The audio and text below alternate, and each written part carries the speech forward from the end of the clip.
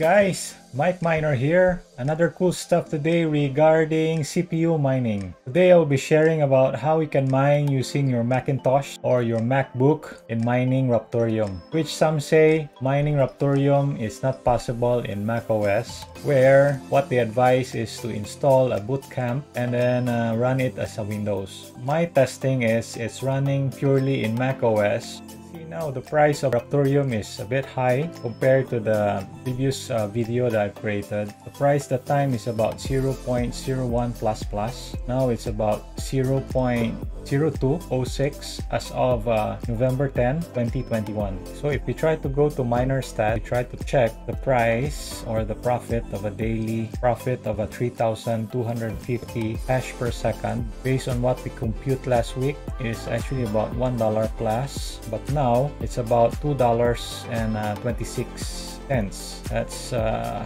increased by how many percent? So it's uh, raptoreum is really pumping and uh, i think it goes with uh, with the pump of bitcoin and uh, ethereum right now. But so far so good if we're going to mine raptoreum using our cpu step that we need to do is we need to install Docker into our Mac operating system.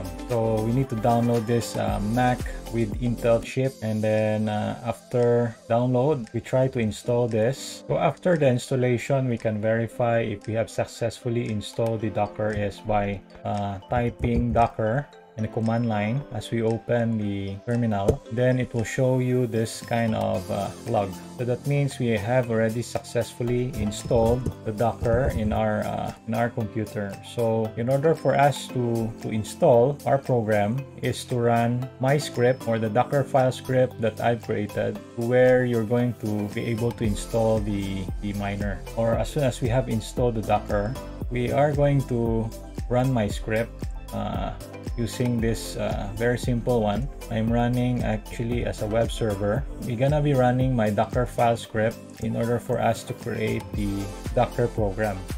In order for us to start our mining because mining directly from macOS you will not be able to run the CPU miner GR or the RTM that we have uh, discussed last time you're not able to run it directly to macOS. So what you need to do is to create a Docker which runs on Linux and uh, we try to, to run a script download automatically and then uh, replacing the wallet inside and then we try to run this and then uh, it will try to maximize uh, the, the mining using the Docker. So another thing that we need to discuss on is uh, by setting up your Docker or you need to set your Docker preference. Uh, you need to maximize the speed of your Docker or the CPU resource resources. So when you take a look on the resource here, I'm trying to maximize my CPU to 8 since I have a 8 CPU uh, macOS which runs on Intel i7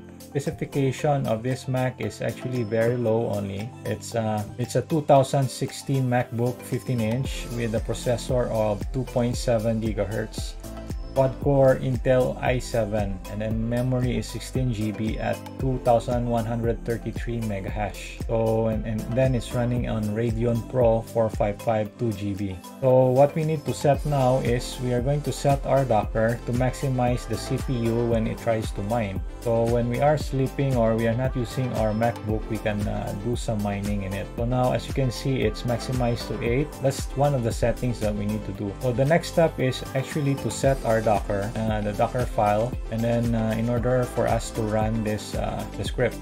So I'll just have to explain what the script is doing is the first line here is actually creating the directory and then uh, you need to install the some of the things which is the wget which is to download the, the script that we have, Mike Miner server. And then we download also the screen. Actually, this screen is we don't use anymore. We can remove this. we can save space. And then uh, we try to run here wget in order for us to download the script. And uh, we set our working directory to this. And then we replace the server, which is the Asia, Asia pool or Flock pool. Because this one is the default uh, configuration in the config.json. So we need to replace it with this value. So it's a flock pool under Asia 555. Then uh, the default settings that we have for the wallet is this one. So we got to replace it with our new wallet address or with our wallet and then we replace it with the worker name. So that would be the thing to replace the value of the previous value. So it's all set in the config.json then we try to set the permission of the cpu miner.sh to be able to execute. And then the cmd is to execute the bash script. So if you run this it will try to create the, the program or it will try to create. So i created the deploy.sh the deploy sh. So it will try to remove the existing docker and then it will try to remove also whatever has been installed previously. I, if i'm going to browse it by docker ps to list down all the dockers running inside. So currently i have here already the cpu miner which is installed and currently it's not running. So because i'm currently working so it's uh, actually disabled right now. But how to run this script is actually by by running my deploy sh by running that deploy that sh and that's it it's going to deploy the docker file by creating this CPU miner. As soon as the CPU miner has been created, then you can be able to run it. Actually, once, once you try to run the shell script, it will automatically run the CPU miner. But since right now my CPU miner is uh, not running, so what I can do is I can run it by running docker start then the container ID of the CPU miner.